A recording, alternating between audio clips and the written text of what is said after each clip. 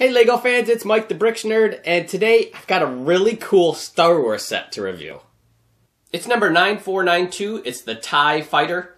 Comes with 413 pieces. You get four minifigures, the new Death Star Trooper, the TIE Fighter pilot, which he has a new helmet, the Imperial Officer, and then the new R5J2. And then I look at the back of the box. Uh, it looks like you have two laser rocket type things that sit below the cockpit. Um, and that looks like that's all for the action.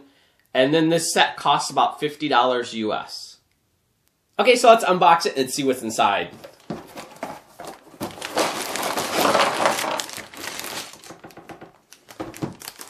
Okay, so it looks like you get three packs. Um, you get these, which they look like they're the brackets to hold the wings on. And then you got your assembly guide. Okay, so let's, I'm excited. Let's build this thing.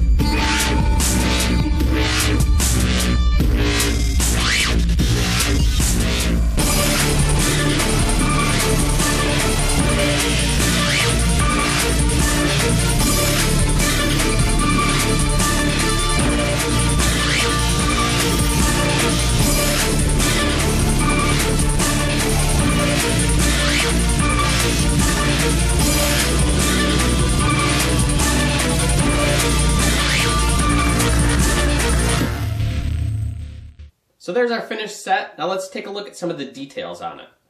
Okay, so there's the front view of it. I'll show you a close-up of the cockpit here in a second.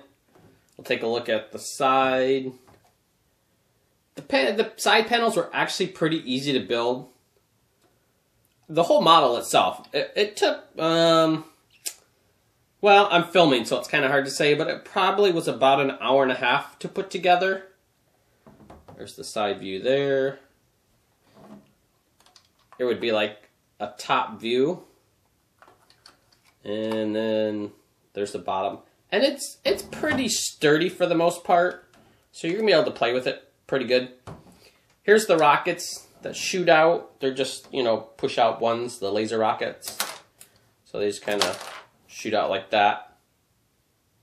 And then here's a close-up look uh, the cockpit. Um, it actually has two doors that open like you can just open this front one here, or it will completely open up all the way. There we got the TIE pilot in there. Uh, This is his control panel. It just kind of slides down so it's easier to get the figure in there. And then just pop that back up. And then you can just close this up. And then here's just a closer look at the top.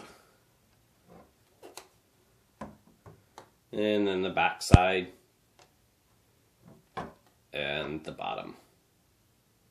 Now we'll take a look at the minifigures. This is the new Death Star Trooper, the new design.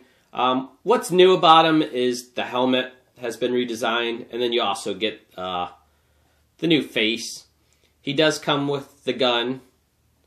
If you guys remember the old helmet, it was kind of just a plain bucket looking thing. Um, so yeah, they did a nice design on this.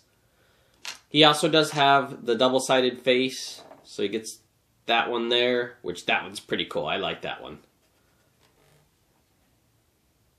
And then there's the TIE Fighter pilot, which he does actually have a redesigned helmet.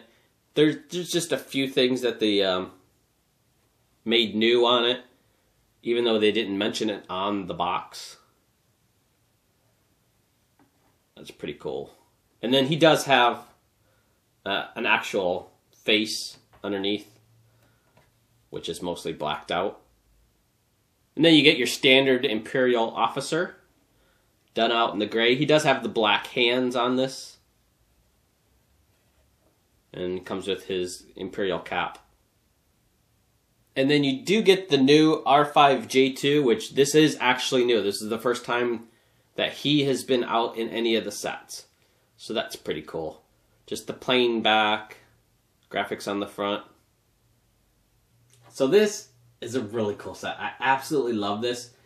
They've done quite a few TIE fighters before, uh, but this one by far looks just the best.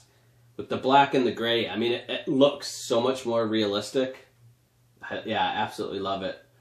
Um, and then also the new edition of the R5J2, because he's a completely new minifigure. They've never done him before. That's nice to add.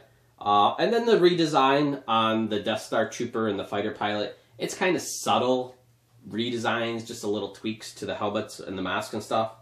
Um, but it does help. It does make them look even cooler. So yeah, I, I absolutely love this set. I was really excited to get it, and the build was pretty easy. It doesn't do a whole lot because, you know, it's just got the rocket, laser rocket things that shoot out. But, you know, that's kind of odd. I mean, look at that. Look how cool that is just flying around.